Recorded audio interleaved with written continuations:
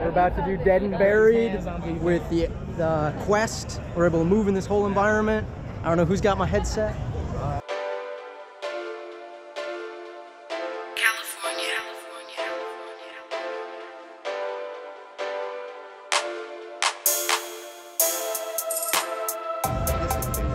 Where's his? I'm using mine. Oh, cool. And I'm trying to find a good box to put this on. What? It, what's a box that no one really goes to? Hey Ryan, what's a box that no one really goes to? Well, you can play behind like this over here or something like that. You think here would be okay, safe spot? And you could just come. So you see a big billboard like this for Oculus Connect, you gotta take a cool picture in front of it. We're excited today to try out the Oculus Quest, the new headset that allows you to walk in the environment completely wireless. The insight tracking that they have on the Oculus Quest, is it going to be able to handle something that is out of the field of view and at the speed of something like Beat Saber? Yeah. I think if there's any tests that we're going to see, I want I, I want to play Beat Saber on the Quest to see how solid the tracking is. Exactly, yes. Because uh, I want to be able to dance, but if you dance, is that going to make you lose tracking? Mm. So um, that, but it's going to be a stress test to see if you could push it as hard as. Uh, maybe you're not going to be able to do something as level uh, as high as the Expert Plus on Beat Saber if you're downloading the mods and you have like the super crazy runs. You have to have a certain amount of precision. And even on the Vive, I lose tracking every now and again, Yeah. and you get this mulligan to, to redo it. So uh, it's a, it's really pushing the limits for the tracking, and so I want to I want to have the experience of playing something like Beat Saber. And once I do, and if it's solid, then you could just know that it's just going to absolutely explode. So YouTubers all over today. I'm here with, Mike from Virtual Reality Oasis. I'm gonna link to him in the description below. So tell me, what, what's been like the craziest thing you've seen at Oculus Connect 5? Uh, definitely trying out the Quest has been the best thing uh, I've tried so far. You know, I've tried out Super Hot, just got to try out some tennis as well, which was really cool. Uh, I think uh, people are going to get really crazy with this thing Yeah. because the sense of freedom, like with this headset, is, uh, is un- unbelievable. You know, it's great. Mm-hmm. Uh, I- I've been using wireless VR with the Rift for a little while now, using the TP Cast, but this is going to be so accessible to people. uh, You know, Mm-hmm. $399, great price. Uh, I think people are going to smash up their homes using this device, but I think they're going to have a blast doing it. all over it. Yeah. The one thing I wish that they addressed with the headset is is there a way to track your animal in VR? Because it's like this is great, but it still isn't going to help me if I have a cat walk in my yeah. environment. There's going to be a lot of unhappy cats, unfortunately, in Totally. the future with uh, people that buy this headset, I think. But um, overall, I think you're going to be having a great time. You know, the optics look like the same from the Go Yeah. in terms of re- resolution and optics. Uh, so it looks great. Latency seems fine. I've had mild issues with tracking, uh, but I think it's just because of the environment isn't probably the, the most ideal environment for it.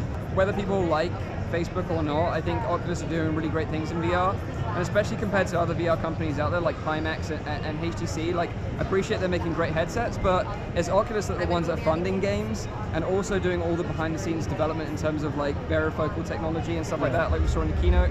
I tried out Dead and Buried. I tried out their tennis experience, and I tried out Face Your Fears.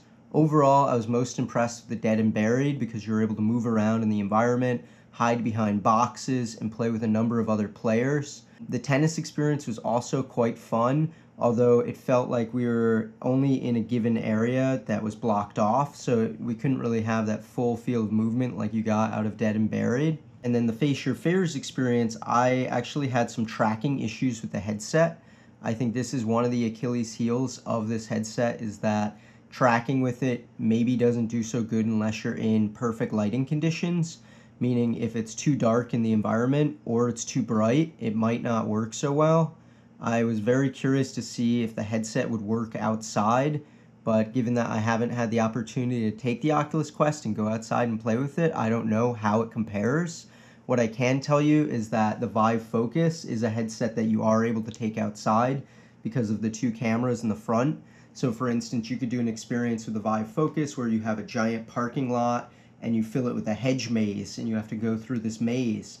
I don't know whether the Oculus Quest will have that same sort of experience where you can take it outdoors and be able to play with it, which is a pretty big issue because a lot of people have apartments or houses where their living rooms aren't exactly spacious. So that's one thing that I'm very, very curious to find out more about.